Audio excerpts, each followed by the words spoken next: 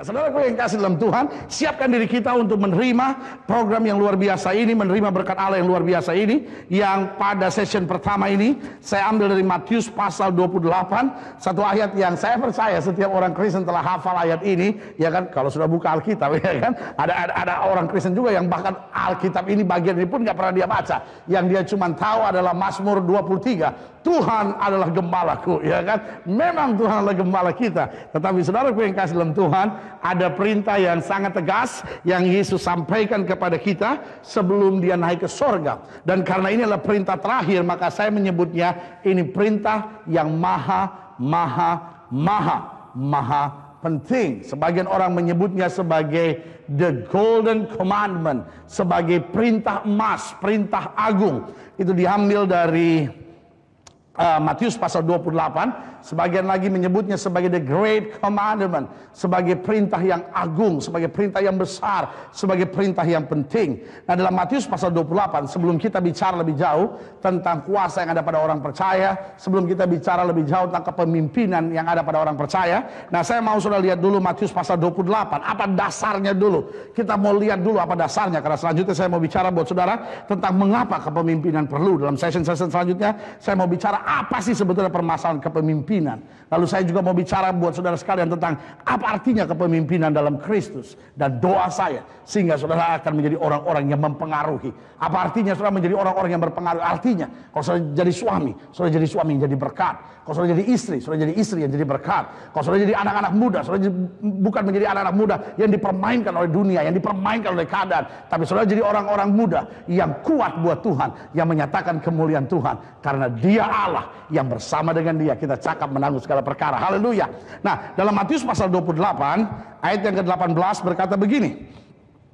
Dan ke-11 murid itu berangkat ke Galilea, ke bukit yang telah ditunjukkan Yesus kepada mereka. Mulai ayat yang ke-16 saya baca. Nah, ketika melih, mereka melihat dia, mereka menyembahnya. Tetapi beberapa orang ragu-ragu. Yesus mendekati mereka dan berkata, "Kepadaku telah diberikan segala kuasa di sorga dan di bumi." Karena itu pergilah, jadikan semua bangsa muridku dan baptiskanlah mereka dalam nama Bapa dan Anak dan Roh Kudus. Dan ajarlah mereka melakukan segala sesuatu yang telah kuperintahkan kepadamu. Dan ketahuilah, aku menyertai kamu senantiasa sampai ke akhir zaman. Nah, saya tertarik pada ayat yang ke-17 dari Matius pasal 28 ini. Dikatakan demikian, ketika melihat dia, mereka menyembahnya, tetapi beberapa orang ragu-ragu. Perhatikan baik, ini adalah murid-murid Yesus. Dan apa yang terjadi? Mereka menyembah Yesus. Tapi kemudian pada saat yang bersamaan, mereka mulai ragu-ragu. Nah pertanyaan kita, kenapa mereka ragu-ragu? Jawaban saya sederhana, karena murid Kristus pada saat itu adalah kelompok minoritas.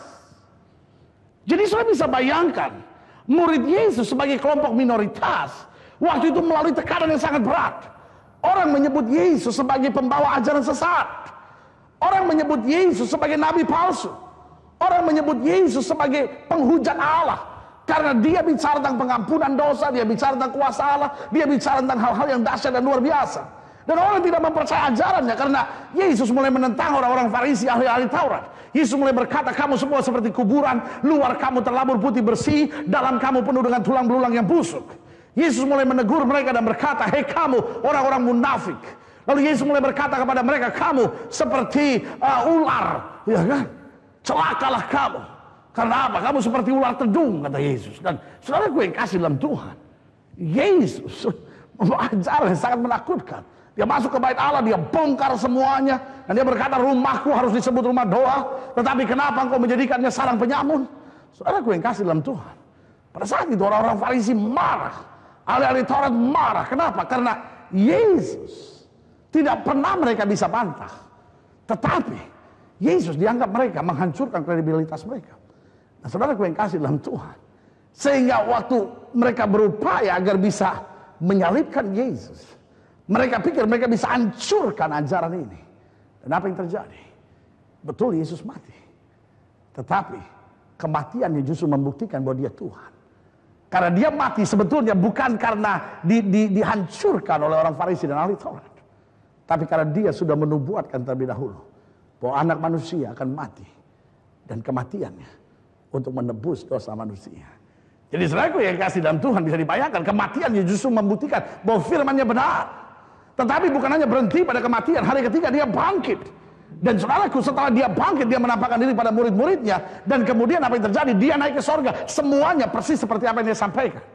Dan sekarang pada saat dia naik ke sorga, oh sebagian murid-muridnya begitu percaya apa yang mereka buat, mereka menyembah karena mereka berkata benar, apa pun yang kau nyatakan benar terjadi demikian. Tapi sebagian ragu-ragu. Kenapa sebagian ragu-ragu? Karena mereka kelompok minoritas. Tahukah saudara bahwa hari-hari ini ada banyak-banyak orang. Dan saya khawatir termasuk saudara. Adalah orang yang ragu-ragu itu. Engkau percaya Yesus. Engkau berkata engkau mengasihi Yesus. Bahkan engkau mungkin pernah mengalami mujizat-mujizat yang luar biasa dari Yesus. Tetapi engkau menjadi orang percaya ragu-ragu sambil berkata, ya pendeta, kita akan Kristen minoritas di sini pendeta. Kita akan lewati banyak tekanan, kita akan lewati banyak masalah, kita akan lewati banyak persoalan. Saya mengerti semua yang saudara katakan, tapi saya mau beritahu roh yang ada di dalam kita lebih besar dari roh yang alam dunia ini. Haleluya. Itu sebabnya kembali saya mau tekankan buat saudara hari ini. Yesus adalah Tuhan yang memberi kuasa. Yesus adalah Tuhan yang memberi kuasa. Sehingga waktu dia lihat murid-muridnya ragu-ragu hanya karena jumlah mereka sedikit. Apa yang Yesus bilang? Yesus mendekati mereka dan berkata, Kepadaku telah diberikan segala kuasa di sorga dan di bumi. Perhatikan baik. Ketika justru murid-muridnya sekarang sedang ada dalam tekanan. Ketika murid-muridnya sedang ada dalam keraguan yang hebat. Yesus bilang apa? Kepadaku telah diserahkan kuasa. Wuh, haleluya. Perhatikan baik, jelas di sini Yesus bilang apa? Kepadaku telah diberikan segala kuasa di sorga dan di bumi. Berarti kau bicara tentang apa pun tidak ada yang perlu kau takutkan.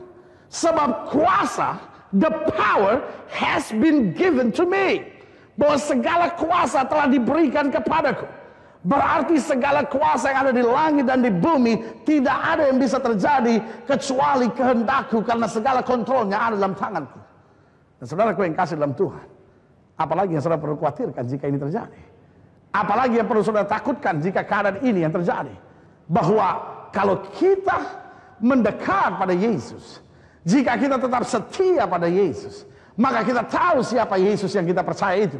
Bahwa dia adalah sumber segala kuasa. Saudara boleh menatap saya dan berkata, tapi pendeta kekristenan sedang melewati tantangan. Saudara boleh melewati saya dan berkata, pendeta kita sebagai orang Kristen menghadapi masalah.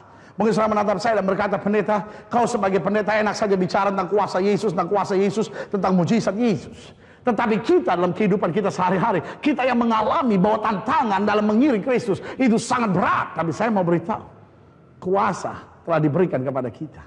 Itu sebabnya saya begitu yakin orang yang hidup dalam Kristus, dia selalu mempunyai kuasa untuk mempengaruhi dan tidak dipengaruhi. Kenapa? Karena kuasa ada di tangan Yesus. Segala kuasa di langit maupun kuasa di bumi. Makanya Alkitab bilang apa? Apa pun yang kamu ucapkan dengan iman, jika tidak bimbang tetapi percaya, itu akan terjadi. Nah, sekarang apa dasarnya? Apa dasarnya kepemimpinan kita? Nah, perintah Yesus kepada murid-muridnya jelas di sini. Saya bagi dalam delapan hal yang penting. Yang pertama, Yesus bilang pada ayat yang ke-19, karena itu pergilah. Nah, satu kata ini menarik perhatian saya. Yesus bilang apa? Pergi. Nah, bagaimana supaya kita bisa mempengaruhi? Kita mulai dari dasar sini dulu. Oke, Yesus beri kuasa buat kita. Tapi bagaimana supaya kuasa Yesus dapat kita alami dalam kehidupan kita? Supaya kita dapat praktekkan dalam kehidupan kita. Di ayat yang ke-18, ayat ke-19 maksud saya jelas. Karena itu kata Yesus apa? Pergilah. Mulai dari kata ini, per, pergilah. Saya catat di sini apa artinya pergi? Yaitu kesiapan untuk meninggalkan our comfort zone. Jadi satu keadaan yang comfort, satu keadaan yang menyenangkan. Ini yang harus kita tinggalkan. Dan selalu saya bilang, tidak ada kekristenan dengan kuasa jika kita tidak mau meninggalkan comfort zone kita atau suasana yang selama ini sangat menyenangkan. Mungkin sudah menatap saya dan berkata, pendeta saya nggak ngerti apa yang pendeta ngomong tentang comfort zone. Saya jelaskan. Ada banyak orang yang bertahun-tahun hidup dengan merokok ya kan? Dan comfort zone-nya dia lah rokoknya itu. Sehingga kalau dia merokok, dia rasa tenang jiwanya. Kalau dia merokok, dia rasa oh pikirannya terbuka gitu. Ah, dia rasanya enak, banyak hal yang bisa dia selesaikan. Tetapi waktu dia iring Tuhan, dia tahu bahwa rokok selain tidak sehat buat hidupnya, rokok juga Ini membuat baik Allah dalam tubuhnya itu tidak bersih. Sehingga apa yang terjadi? Dia harus ambil komitmen untuk lepaskan diri dari merokok.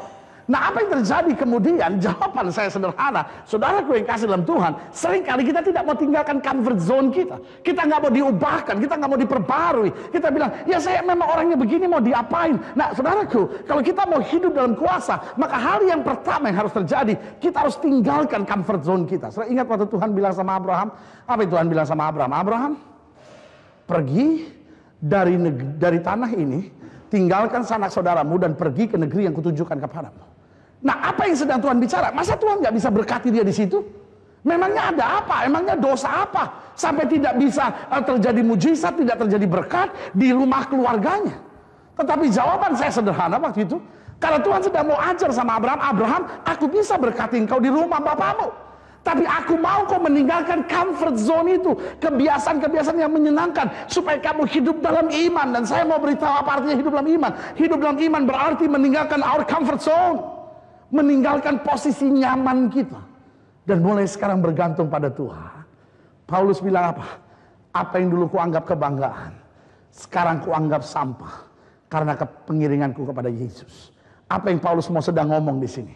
Paulus sedang bicara, my comfort zone, daerah nyamanku ini, suasana nyamanku ini, berani ku tinggalkan. Karena Yesus memberi suasana yang lebih nyaman. Tuhan bilang sama Abraham, Abraham, ambil anak yang tunggal yang kau kasih, yakni Ishak. Persembahkan. Saudara kau, Abraham bisa berpikir, ini perintah yang sama sekali nggak masuk akal. Bayangkan Tuhan yang berikan anak. Kok sekarang Tuhan juga yang mau ambil. Tapi sebetulnya yang Tuhan sedang mau latih pada Abraham. Abraham, beranikah engkau meninggalkan your comfort zone itu? Sesuatu yang kau pikir sudah menyenangkan, sesuatu yang kau pikir sudah enak. Nah, ini Tuhan mulai bilang nggak bisa begini. Nah, saudara yang kasih dalam Tuhan. Kalau kita mau hidup dalam kuasa, kita mesti kehilangan banyak, banyak, banyak, banyak kebiasaan kita. Ya kan? Kebiasaan sudah untuk maki orang, kebiasaan sudah untuk putus asa, Kebiasaan sudah untuk kecewa, kebiasaan sudah untuk simpan dendam, kebiasaan sudah mengeluarkan kata-kata yang nggak sepantasnya. Wah tuh orang bahasa, segala macam saudara ya kan. Karena itu apa? Itu comfort zone. Jadi waktu kita bilang manusia lama saya telah mati disalibkan bersama Kristus. Artinya apa? Kita kehilangan comfort zone kita. Sesuatu yang sangat menyenangkan. Ada banyak orang yang yang punya hobi yang enggak-enggak ya kan. Hobi dia mainin apa gitu ya kan ada orang yang urusan burung, bisa berjam-jam dia main burung, pulang rumah, bukan istri yang dia cium dulu, burung yang dia cium. Burung dia urusin hari-hari, ya kan? Dan itu comfort zone-nya dia, ya kan? Ada orang nonton sepak bola, waduh sampai pagi-pagi pokoknya dia jabanin, pagi-pagi nonton bola, nonton bola, jam 2, jam 3 nonton bola. Tapi kalau suruh doa, wah, jam 6 pagi aja suruh doa dia bilang, Tuhan, aku ngantuk, kupikir kau juga. Biarlah kita tidur sama-sama sekarang. Iya kan? Kenapa? Karena intinya sederhana, dia nggak mau kehilangan comfort zone. Ada banyak orang nggak doa pagi, nggak doa malam. Kenapa? Karena sebelum doa malam-malam dia bilang, aduh saya mau doa tapi udah nggak buka burung ngantuk. Ada banyak orang nggak mau baca Alkitab. Kenapa? Karena buat dia, this is not comfort zone. Saya baca Alkitab nggak ngerti. Ada banyak orang kenapa nggak mau ngalah. Kenapa nggak mau hilangkan kesombongan egoisnya? Karena menurut dia itu kesombongan egois itu comfort zone-nya dia. Hari ini saya mau beritahu, kalau selama mau hidup dengan kuasa, selama mau hidup jadi berkat, selama mau hidup dipengaruhi, maka langkah pertama yang Kristus bilang apa? Pergi. Artinya apa? Tinggalkan comfort zone kita. Mulai berjalan pada pimpinan Tuhan. Itu sebabnya Daud bilang apa? Tuhan adalah gembalaku. Takkan kekurangan aku. Ia membimbingku ke air yang tenang dan menyegarkan jiwaku. Tapi selanjutnya ayatnya Daud bilang apa? Meskipun dia membimbing aku melewati lebah bayang maut, aku tidak takut bahaya karena apa? Gadanya dan tongkatnya menjadi penghiburan bagiku. Meskipun comfort zone sudah saya tinggalkan. Tapi kalau Yesus masih beserta dengan aku. Itulah keindahan segala-galanya dalam hidup ini. Haleluya. Jadi yang pertama bagaimana supaya kita menerima kuasa. Bisa mempengaruhi dalam hidup kita. Jadi berkat buat banyak orang. Yang pertama dengar baik. Kata Yesus pergi. Yang kedua. Selanjutnya dikatakan apa? Pergilah. Lalu kata selanjutnya yang menarik perhatian saya. Jadikanlah. Nah Pertanyaan kita, apa arti kata jadikanlah? Saya catat di sini, jadikanlah artinya Kesiapan untuk memimpin dan bertanggung jawab. Tuhan nggak cuma bilang yang ngomong aja kalau dia terima syukur dia nggak terima ya nggak apa-apa. Tapi Tuhan bilang jadikanlah. Artinya apa? Kita mulai punya beban kepemimpinan dan bertanggung jawab. Artinya apa? Kalau saya ketemu orang yang belum percaya Tuhan, maka saya bukan hanya punya tugas untuk menyampaikan, tapi saya punya tugas untuk memimpin, membimbing secara bertanggung jawab sampai dia jadi. Kurang lebih kan begitu. Ya kan? Jadi kalau saudara berani jadi suami, artinya saudara harus berani menjadikan keluarga saudara bahagia. Jangan bilang sama saya, aduh tapi istri saya cemburuan pendeta. Uh, saya digigit nyamuk aja dia ngomong langsung. Itu nyamuk pasti perempuan ya, pasti perempuan ya, pasti perempuan ya. Itu sampai gigit-gigit kamu. Saya nengok sedikit lalu dia bilang, kenapa? Lihat perempuan, lihat perempuan. Saya bilang, enggak, lihat kebo. Kebonya pasti perempuan katanya gitu. Lihat saudara gue yang kasih dalam Tuhan. Istri saya model cemburuan begitu, bagaimana saya bisa jadikan rumah tangga saya bahagia? Dari pihak saya saya udah berkorban, tapi kalau istri saya modelnya begitu nggak bisa. Mana cerewetnya minta ampun lagi. Seperti radio rusak lebih enak didengarnya. Saya sebagai hamba Tuhan mau kembali ingatkan buat saudara. Bahwa ini berita yang Tuhan berikan buat kita. Pergi lalu jadikan. Artinya apa? Membutuhkan kesabaran, membutuhkan proses, membutuhkan waktu. Jadi proses jadikan itu membutuhkan proses, membutuhkan kesabaran, membutuhkan apa? Waktu. Ya kan? Nah ini saya bilang, pemimpin yang bertanggung jawab, ada beban. Tuhan saya seorang istri. Saya nggak mau cepat menyerah. Betul suami saya kepala batu. Ada istri-istri yang bilang, aduh pendeta, istri saya, suami saya pendeta, udah bukan kepala batu lagi, udah kepala baja dia pendeta, saking kerasnya. Ya kan? Tapi hari ini jawaban saya sederhana engkau diberi kuasa oleh Tuhan untuk punya beban ini dan menjadikan. Artinya memohon kuasa Tuhan, Tuhan sehingga lewat kasih saya, saya dapat diberi kuasa oleh Tuhan mengizinkan Roh Kudus mempengaruhi hidupnya. Coba saudara bayangkan, batu yang besar. Kalau tiap hari, tis, tis, tis, di, dititiskan dengan dengan satu tetes air. Tapi tiap hari, tiap hari, tiap hari, tiap hari, sudah tahu, satu saat batu itu akan pecah. Kenapa? Karena konsistensi dari air ini akan lama-lama menghancurkan kekerasannya. Dan hari ini saya mau beritahu, itu berita yang sama yang Tuhan berikan buat kita. Asal saja kita mau konsisten. Jangan bilang sama saya, oh suami saya terlalu keras. Oh papa mama saya nggak pernah mau bertobat. Oh situasi saya sudah terlalu buruk. Tapi kalau kita konsisten dengan beban, terus berdoa, terus minta hikmat dari Tuhan, terus minta kuasa. Ingat, sepintar-pintarnya setan, setan tidak akan bisa menang dengan hikmat Tuhan. Berarti kalau saya jalan dengan hikmat Tuhan, Roh Kudus akan menolong saya. Haleluya. Dan saya akan melihat kemenangan yang luar biasa. Puji Tuhan. Jadi ingat, yang pertama, apa perintah Yesus bagi orang percaya agar hidup dalam kuasa, hidup mempengaruhi. Yang pertama sudah saya jelaskan. Ada kesiapan kita untuk meninggalkan comfort zone, suasana nyaman dalam hidup kita. Kita harus pergi. Lalu yang kedua, jadikan. Artinya kesiapan dengan beban untuk memimpin secara bertanggung jawab. Secara konsisten. Dengan mohon kekuatan dan pertolongan dari roh kudus. Yang ketiga, dikatakan apa? Pergi, jadikan apa? Semua bangsa. Perhatikan kata semua bangsa di sini. Bagi saya kata semua bangsa berarti kesiapan untuk menghadapi perbedaan. Karena kalau kita bicara tentang bangsa, maka kita bicara tentang perbedaan. Ada bangsa-bangsa tertentu yang mungkin kebiasaannya makan nasi ada kebiasaan bangsa tertentu yang tidak makan nasi. Saya ingat satu kali saya ada di Amerika dan di satu daerah yang cukup terpencil di Amerika dan saya punya kawan di sana. Dan karena dia lihat saya makan nasi, dia makan nasi. Tapi apa yang dia buat? Dia makan nasi, tidak pakai apa-apa. Lalu saya bilang nggak bisa begini. Kalau makan nasi minimal pakai ayam, kayak pakai apa? Dia bilang, no, no, no, no, nggak begitu. Begini caranya. Dia makan nasi nggak pakai apa-apa. Saya pikir ini orang aneh. Tapi dia ngelihat saya makan nasi, lalu dicampur pakai sambal lagi, pakai semua. Dia cuma ngeliatin saya, ini orang aneh ya kan. Kita sama-sama pikir aneh. Tapi jawaban saya sederhana, bukan kita yang aneh, tetapi ada perbe perbedaan. Nah, saudara yang kasih dalam Tuhan, ingat. Kadangkala misalnya saudara sederhana, kenapa perceraian terjadi? Seringkali hanya karena kita nggak siap menghadapi perbedaan, cuma itu aja. Ya kan? Kadang-kala kita pikir, suami saya kasar. Yang kadang-kala kita sebut kasar, hanya karena kita tidak bisa menerima perbedaan. Jadi satu kali, waktu saya masih baru-baru pelayanan, kira-kira saya masih tingkat tiga atau tingkat empat gitu. Tingkat, tingkat, no, no, tingkat tiga. Saya tingkat tiga, lalu saya pelayanan di satu tempat. Oh cukup terpencil di daerah Jawa Barat. Uh, saya lagi pelayanan ke sana, lalu hujan, jadi becek. Jadi kita semua harus uh, sepatu harus kita tenteng dan semua gitu. Pokoknya becek sekali. Nah, waktu saya sampai di rumah itu, saya mau taruh sepatu saya. Kalau di situ ada banyak sepatu, lalu saya mau taruh sepatu saya. Lalu ada seorang yang punya rumah bilang begini, pendeta, buka sepatumu di sini. Lalu dalam hati saya, waduh, kita udah datang sini susah-susah, ini bapak galak banget. Tiba-tiba dia bilang, pendeta, buka sepatu kau di sini. Dalam hati saya, ya aku juga tahu, ini udah ku tenteng ini sepatu, ya kan? Tapi saya pikir kenapa dia galak, jadi saya liatin aja gitu. Tiba-tiba dia bilang, pendeta, ku bilang, buka sepatu kau di sini. Dalam hati saya, ini orang mau ngajakin berantem apa apa sih, kok galak banget. Karena saya liatin dia begitu. Dia bilang ini, pendeta, Ku bilang kau taruh sepatumu di sini, jangan di situ supaya tidak tercampur.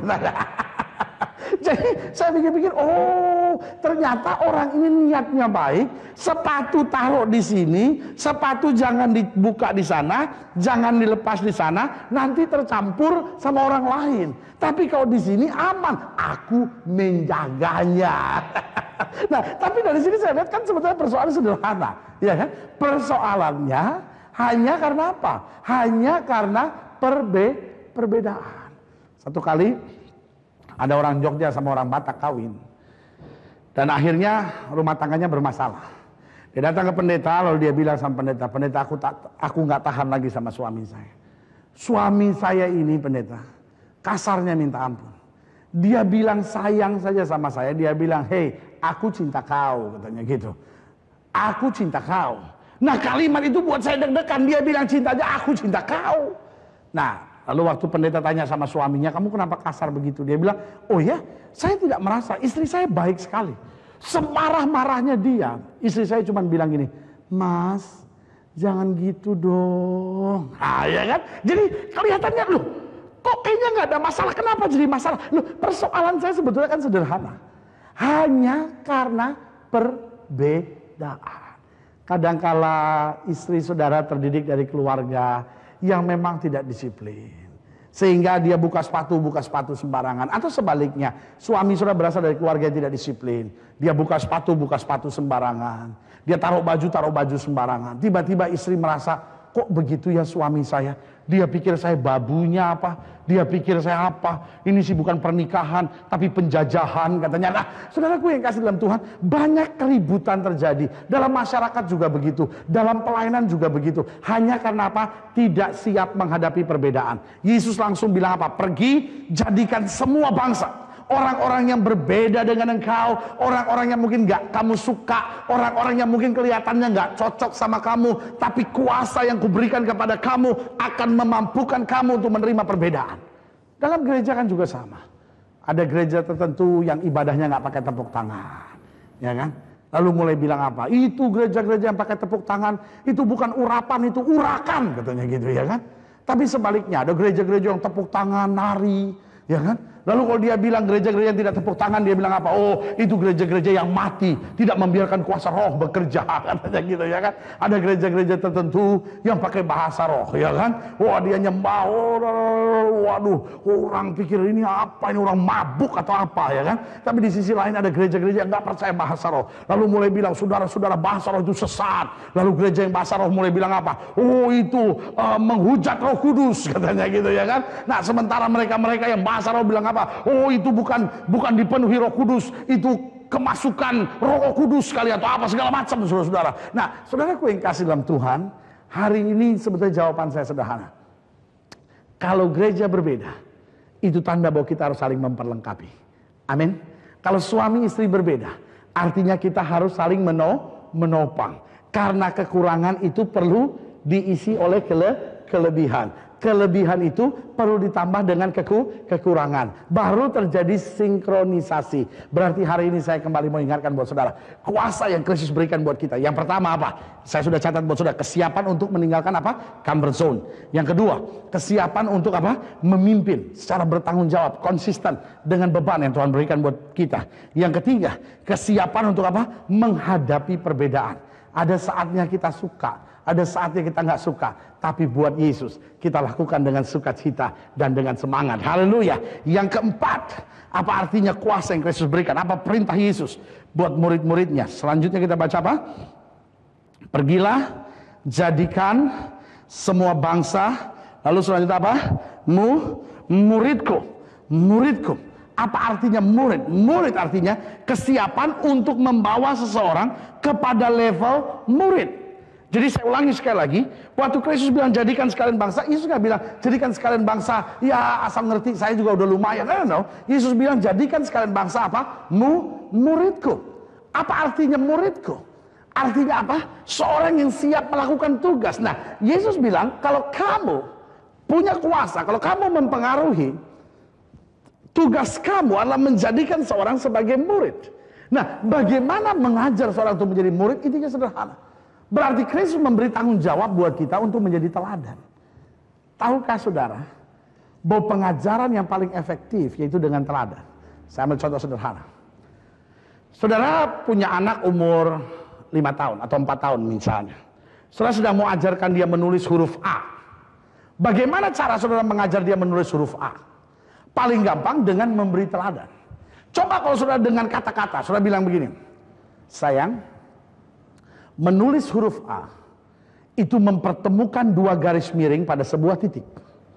Lalu kira-kira di tengah dari dua garis miring itu ditarik sebuah garis sejajar yang bertumpu pada setiap titik di dua garis miring tersebut. Silahkan kamu lakukan sekarang. Anak sudah akan menatap sudah berkata, ulang mah, ulang mah. Membuat huruf A adalah mempertemukan dua garis miring pada sebuah titik. Lalu di tengah kedua garis miring tersebut, diberilah satu buah, sebuah garis melintang yang bertumpu pada dua titik pada garis miring tersebut. Saudaraku, sampai tahun baru kebo, sampai tahun baru kebo juga, itu anak saudara tidak akan pernah bisa nulis huruf A. Tapi kalau saudara bilang sama dia, sayang, nulis huruf A begini, tarik garis, tarik garis, tarik garis, ini jadi apa sayang? A. Anak sudah langsung bilang, oh iya mah, oh iya mah. Ah, anak sudah mulai tarik, tarik, tarik dan dia bisa nulis huruf A. Jadi sekali lagi waktu kita bicara tentang murid, pengajaran yang paling penting adalah lewat apa? Lewat teladan. Kadang-kala persoalan ya, oh kita bilang kita anak Tuhan. Tapi maki orang jalan terus. Kita sebut diri kita anak Tuhan, tapi berzina. Kita sebut diri kita anak Tuhan, tapi nonton uh, tontonan-tontonan cabul. Kita sebut diri kita anak Tuhan. Tapi apa yang kita buat? Kita buka situs-situs porno. Kita sebut diri kita anak Tuhan, tapi kita judi, togel, ya kan? Kita kita judi, nonton bola kita bikin judi, apa pun kita bikin judi, ya kan? Uh, kita kita hidup dengan cara yang tidak layak. Kita maki istri kita, istri melawan suami, nggak ada kasih dalam keluarga. Lalu kita mau bilang, oh iya saya hidup dalam Yesus, cuman saya manusia biasa yang banyak kekurangan. Nah, nah kita nggak bisa permainkan Yesus dengan cara seperti itu, ya kan? Banyak anak-anak muda bilang, oh saya mencintai Tuhan. Tapi saya lakukan hubungan seks sebelum nikah. Habis kita sudah saling percaya. Saya mau beritahu itu sesat. Kenapa? Kristen yang sebenarnya. Artinya kita menjadi teladan. Allah beri kuasa buat kita supaya kita mempengaruhi. Bagaimana kita bisa mempengaruhi? Yaitu hidup dengan menjadi teladan. Alkitab bilang apa? Alkitab bilang, kalau kamu tidak menjadi teladan, kalau garam itu sudah tidak asing lagi, dia akan dibuang dan diinjak-injak orang. Pertanyaan saya sederhana. Kalau orang percaya sudah tidak bisa jadi saksi. Kalau orang percaya sudah tidak bisa jadi teladan. Dunia mesti lihat siapa. Papa-papa Kristen. Sekarang saya mau ngomong dari hati ke hati sama saudara. Kalau saudara sebagai papa Kristen. Sudah tidak bisa diteladani oleh anak-anakmu. Engkau sebagai suami Kristen sudah tidak bisa diteladani oleh istrimu. Pertanyaan saya sederhana. Dunia mesti lihat siapa. Anakmu mesti mencontoh siapa. Saudara boleh marah dengan melotot kepadanya dan berkata, anak saya nakal, anak saya nggak bisa diatur, anak saya nggak mau dengar. Tapi jawaban saya sederhana, kalau engkau tidak pernah bisa menjadi teladan baginya, anakmu mesti lihat siapa. Mama-mama Kristen, sebagai hamba Allah saya mau ngomong dari hati ke hati sama saudara. Kalau saudara sebagai istri Kristen sudah tidak bisa tunduk sama suamimu, Saudara boleh menatap saya dan berkata, pendeta, tapi suami saya kebangetan pendeta. Suami saya terlalu keras sama saya. Tapi pertanyaan saya, kalau kamu sebagai istri Kristen sudah tidak bisa tunduk pada suami. Dunia mesti meneladani siapa? Kalau ibu sebagai mama Kristen sudah tidak bisa memberikan kasih kepada anak-anakmu. Sudah tidak bisa memberi perhatian yang tulus. Sudah tidak bisa memberikan kesabaran dalam kehangatan cinta Kristus bagi anak-anakmu. Pertanyaan saya anak-anakmu mesti cari siapa? Apakah dia harus dapat kasih dari babysittermu? Apakah dia harus dapat kasih dari pembantumu? Apakah dia harus dapat kasih dari teman-temannya di sekolah? Itu sebabnya dia dapat tersesat. Sebagai hamba Allah kembali saya mau ingatkan buat saudara. Allah akan menjadikan kita berkat buat banyak orang. Allah akan memberikan kita kuasa untuk memimpin. Allah akan berikan kita kuasa untuk mempengaruhi. Saudara boleh menatap saya dan berkata, tapi kita minoritas di lingkungan, tapi kita minoritas di pekerjaan, tapi kuasa dari Allah memampukan saudara. Ingat, Daniel adalah seorang minoritas yang berada di antara bangsa kafir. Tapi kalau sudah pelajari dalam Alkitab, apa yang terjadi dengan Daniel? Alkitab berkata Tuhan memberikan Daniel 10 kali lipat lebih pandai. Sehingga apa yang terjadi? Daniel menjadi pemimpin di bangsa kafir itu. Saudaraku yang kasih dalam Tuhan. Mungkin jabatan formal saudara bukan seorang pemimpin. Tapi saya mau beritahu buat saudara. Jika hidupmu mempengaruhi. Meskipun kau minoritas. Tapi kau akan menjadi berkat yang besar. Sejauh kau dapat menjadi teladan. Adik-adik muda. Orang-orang muda Kristen yang menyaksikan video pembinaan iman ini. Saya mau ingatkan buat saudara. Kalau saudara sudah tidak bisa menjadi teladan. Kalau engkau sebagai orang muda juga nyontek, engkau sebagai orang muda juga lakukan hubungan seks sebelum nikah, engkau sebagai orang muda juga lakukan onani, masturbasi, engkau juga lakukan yang nggak benar, kau baca bacaan cabul, kau tonton tontonan cabul, lalu engkau berkata, oh iya saya anak Tuhan, lalu pertanyaan saya, kalau saudara nggak bisa jadi teladan, dunia mesti lihat siapa? Sebagai hamba Allah kembali saya mau bicara sama saudara. Karena saya percaya tidak kebetulan sudah menyaksikan video pembinaan iman ini. Saya percaya roh kudus sedang membawa saudara untuk menerima berkat ini karena Allah punya rancangan yang luar biasa buat hidup saudara. Supaya hidup saudara jadi berkat yang luar biasa buat banyak orang. Haleluya. Nah selanjutnya ada sudah empat perintah ya kita bahas ya. Pergi, jadikanlah sekalian bangsa muridku. Kita lihat selanjutnya empat yang lainnya. Dikatakan selanjutnya dan baptiskanlah. Apa artinya kata baptiskan? Orang sampai hari ini masih memperdebatkan apa istilah baptis. Sebagian berkata, oh baptis percik. Tapi sebagian bilang, no, no. Dari terjemahan aslinya, baptis itu artinya selam. Mana ada penyelaman percikan, nggak ada, ya kan? Uh, orang ribut dengan caranya. Saya setuju seperti apa yang Alkitab katakan, bahwa Alkitab tidak pernah bicara tentang percik sedikit pun. Alkitab bicara tentang penyelaman. Karena baptisan itu sendiri berarti penyelaman. Tetapi dalam bagian ini kita nggak bicara salah khusus tentang itu. Tapi kita sedang bicara tentang apa yang Yesus maksudkan dengan berkata kepada murid-muridnya baptiskanlah. Yang kelima saya pelajari, kesiapan untuk menuntun pada sebuah keputusan. Berarti yang Yesus mau dalam yang Yesus kehendaki dalam hidup kita Bukan sekedar kita, oh ya jadi berkat supaya orang kagum sama kita. Waduh, orang Kristen baik ya. Aduh, suami Kristen tuh baik ya. Aduh, pekerja Kristen jujur ya. Aduh, pedagang Kristen itu bisa dipercaya ya. Aduh, bisnismen Kristen itu hidupnya bersih ya. Nah, no, tujuannya bukan sampai situ. Yesus bilang apa? Baptis, baptiskanlah. Giring mereka, bimbing mereka, tuntun mereka sampai sebuah keputusan. Selalu saya bilang, jangan mencuri kemuliaan Allah. Kadang-kala kita mulai sombong dan bilang, oh kalau bukan karena saya tidak akan jadi. Siapa dulu dong, siapa dulu dong. Tapi Yesus sedang bilang apa? Baptiskanlah. Artinya kita mempengaruhi. Sehingga orang dapat melihat Kristus. Haleluya. Saudara ingat waktu Daud mengalahkan Goliat. Goliat memaki-maki Daud dan berkata, Hei, bangsa Israel, pilih dari antara kamu. Lalu waktu Daud maju dia bilang, anjingkah aku? Sampai kau datangi aku dengan tongkat dan batu seperti itu. Daud dengan tenang tanpa gemetar berkata, Engkau boleh mendatangi aku dengan pedang tombak dan lembing, kata Daud.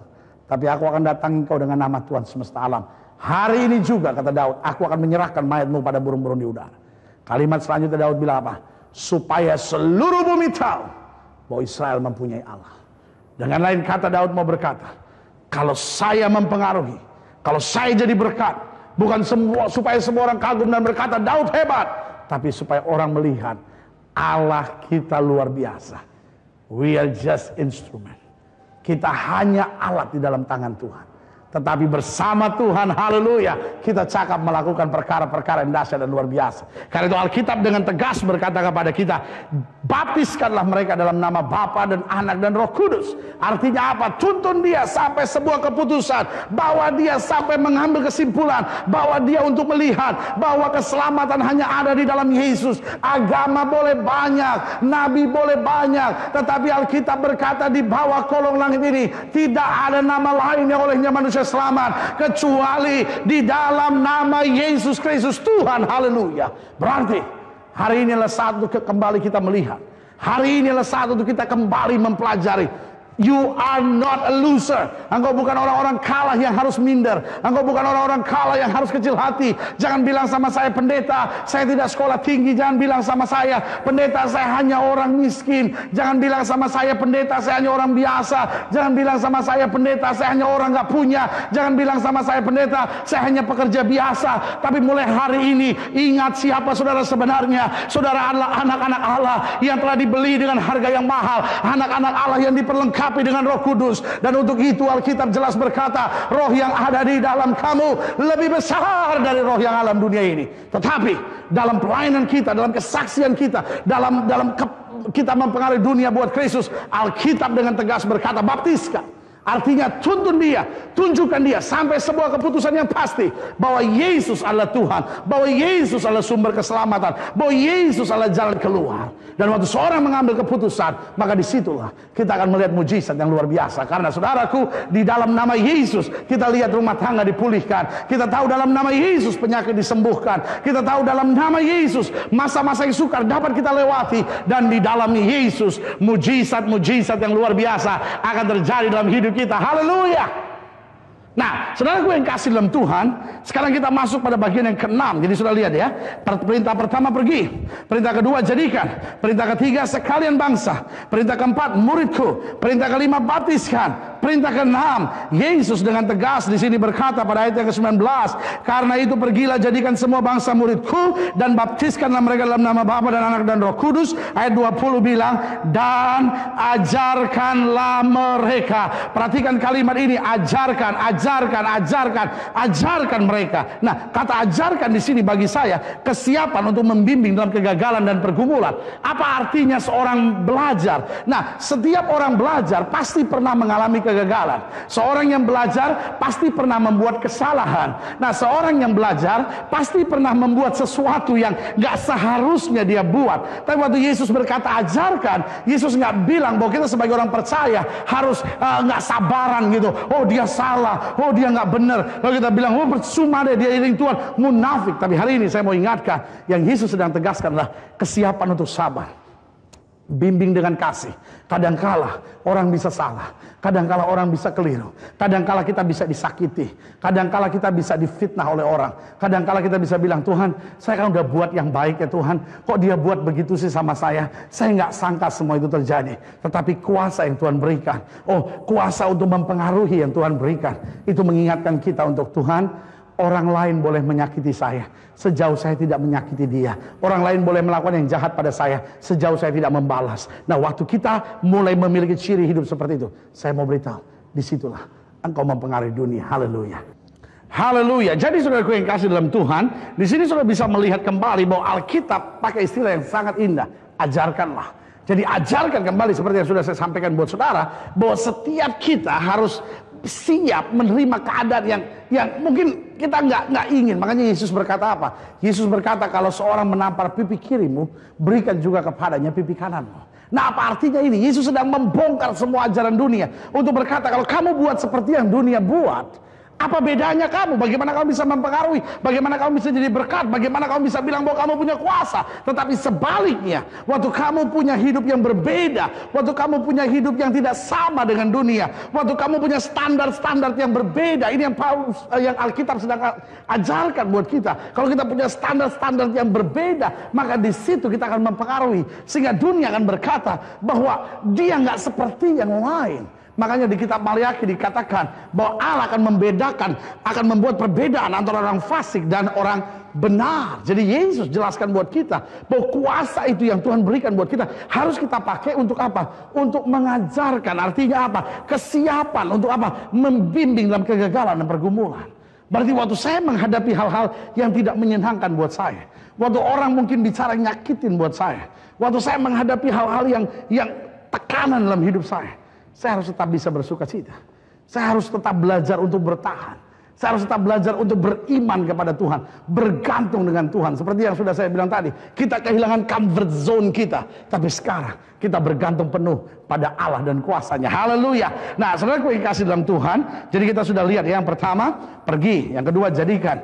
Yang ketiga sekalian bangsa. Atau semua bangsa. Yang keempat muridku. Yang kelima baptiskan. Yang keenam ajarkan.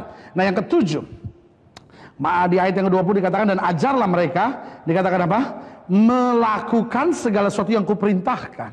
Berarti yang Tuhan sedang mau jelaskan buat kita bahwa pengaruh kita ini harus mempengaruhi segala sesuatu yang diperintahkan. Artinya kita bukan mempengaruhi dunia untuk kepentingan diri kita sendiri. Kita bukan mempengaruhi dunia untuk kesenangan kita sendiri. Kita mempengaruhi dunia bukan supaya kita membawa dunia menurut mau kita. Saya masuk satu toko buku dan saya pelajari ada kiat-kiat zaman sekarang bagaimana mempengaruhi pembeli, bagaimana mempengaruhi karyawan, bagaimana mempengaruhi pimpinan. Dan semua buku ini saya mulai lihat-lihat secara garis besar dan saya pelajari bahwa semuanya ini tujuannya sebetulnya sederhana. Bagaimana supaya kita dapat mempengaruhi orang dan semua orang itu akhirnya terfokus pada diri saya. Tetapi Kristus mengajarkan sesuatu yang sangat berbeda. Bahwa dia beri kuasa buat kita bukan supaya dunia terfokus pada kita, tapi supaya dunia terfokus pada keselamatan. Ajarkan mereka melakukan segala sesuatu yang kuperintahkan bagimu. Apa artinya? Berarti sebelum saya mempengaruhi orang, saya sendiri harus diisi dengan firman Tuhan sampai penuh. Saya sendiri harus diisi dengan kehendak Allah sampai penuh. Saudaraku yang kasih dalam Tuhan, bagaimana kita bisa jadi berkat buat orang? Kalau kita sendiri tidak pernah merasakan berkat dari Allah? Bagaimana kita bisa jadi saksi Tuhan kalau kita sendiri tidak pernah hidup bersama dengan Tuhan? Itu sebabnya melalui program ini kembali saya mau ingatkan Allah punya rancangan yang besar buat hidup saudara. Allah mau pakai saudara untuk mempengaruhi. Allah mau pakai saudara untuk menjadi berkat. Allah mau pakai saudara supaya lewat hidup saudara banyak-banyak orang diberkati, banyak-banyak orang diselamatkan. Kalau saudara suami, saya berdoa supaya saudara menjadi suami yang luar biasa dalam rumah saudara. Jadi berkat buat anak-anak saudara. Kalau saudara istri, doa saya supaya saudara jadi istri yang mempengaruhi kalau saudara anak-anak muda, saya berdoa supaya saudara jadi anak-anak muda yang menjadi saksi Tuhan. Karena selalu saya bilang, kalau orang Kristen tidak bisa mempengaruhi, kalau anak Tuhan tidak bisa mempengaruhi, kapan dunia mau lihat kemuliaan Tuhan? Itu sebabnya siapa pun saudara. Saudara pedagang kah? Saudara seorang bisnismen kah? Saudara seorang karyawan kah? Jangan pernah bilang lagi sama saya, kita minoritas, kita lewati tekanan. No, no, no. Roh yang ada di dalam saudara lebih besar dari roh yang ada dalam dunia ini. Haleluya. Tetapi kembali, Isi hidup saudara dengan firman. Isi hidup saudara dengan kehendak Allah. Oh miliki persekutuan yang akrab, mantap, lekat dengan Allah. Maka saya mau beritahu, otomatis kemuliaan Tuhan nyata. Saudara ingat waktu Musa turun dari dari gunung kemuliaan itu. Apa yang terjadi? Waktu Musa turun dari tempat di mana dia menerima menerima hukum Tuhan. Dia bergaul dengan Allah begitu akrab. Alkitab berkata waktu dia turun.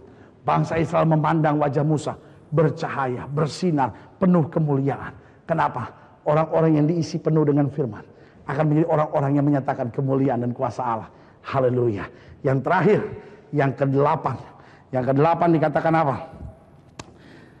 Dan bagian terakhir dikatakan, ketahuilah aku menyertai kamu senantiasa sampai kepada akhir zaman. Ingat bahwa Allah bertanggung jawab. Haleluya. Betul tugas dan tanggung jawab ini diberikan kepada kita. Tetapi Tuhan bilang apa?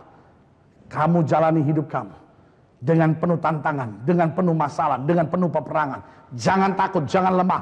Kamu maju tetap. Kalau kamu sudah lakukan semua perintah yang aku berikan kepadamu, aku menyertai engkau. Paulus bilang apa? Jika Allah di pihak aku, tidak ada yang dapat melawan aku. Saudaraku, kalau kita sudah berjalan bersama Tuhan, apalagi yang harus kita takutkan? Betul? Kita bisa lemah.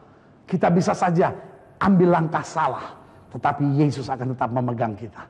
Itu sebabnya hari ini saya mau beritahu saudara. Mungkin saudara sedang menyaksikan program ini sambil berkata, Saya sedang menghadapi masalah. Saya sedang menghadapi persoalan. Saya sedang menghadapi masa-masa suka. Di layar televisi, Bapak Ibu Saudara sekalian ada nomor-nomor telepon.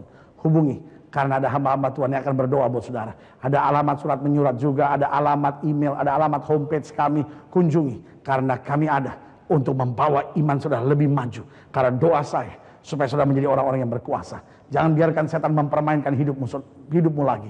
Jangan biarkan setan mempermainkan hidupmu lagi. Jangan biarkan setan menghancurkan keluargamu. Jangan biarkan setan menghancurkan masa mudamu. Jangan biarkan setan menghancurkan keuanganmu. Tapi berdiri teguh dan bilang, saya diberi kuasa oleh Tuhan. Delapan langkah ini sudah Tuhan berikan buat saya. Saya harus pergi, saya harus menjadikan, saya harus libatkan sekalian bangsa, saya harus masukkan mereka jadi murid, saya harus baptiskan, saya harus ajarkan, saya harus melakukan segala sesuatu yang diperintahkan dan jaminannya Tuhan akan menyertai saya. Dan jaminan itu yang sangat penting. Bahwa saya tidak perlu takut, saya tidak perlu khawatir. Saudaraku, apa alasan saudara untuk lemah hari-hari ini? Buat saya tidak ada. Yesus bilang segala kuasa di sorga dan di bumi telah diserahkan kepadaku. Berarti apa pun yang sudah hadapi, panggil Yesus. Berseru kepada Yesus dan saya percaya Tuhan akan memberikan kemenangan yang luar biasa. Dan setelah ini juga, saudara akan menyaksikan serial yang lain tentang apa artinya Alkitab dan kepemimpinan. Apa artinya orang percaya mempengaruhi. Apa artinya orang percaya jadi berkat. Bagaimana caranya supaya hidup kita membawa kemuliaan Tuhan hadir di mana pun kita ada. Dan saya percaya seluruh rangkaian VCD ini akan membawa kemenangan dalam hidup saudara. Sejauh kau praktekkan setiap firman yang disampaikan. Sejauh kau praktekkan setiap langkah-langkah kehendak Allah yang disampaikan. Dan saya percaya iman yang kita praktekkan dalam kehidupan kita akan menjadi kemenangan yang luar biasa. Haleluya. Saudara yang kasih dalam Tuhan. Sekarang saya mau berdoa buat saudara. Kalau sudah sedang sakit, sudah sedang berbeban berat. Atau mungkin sudah berkata, saya ini selalu ditekan. Saya ini seperti merasa orang tak berguna. Saya selalu merasa bahwa saya nggak punya kekuatan. Saya nggak punya kuasa. Saya ingin buat yang baik, tapi setiap kali saya ingin buat yang baik, yang jahat yang saya lakukan. Ingat hari ini saya mau beritahu, Yesus beri kuasa buat saudara. Kalau roh kudus turun atas hidup kita, kita akan menerima kuasa, kata Alkitab. Kita akan menjadi saksi-saksi Allah.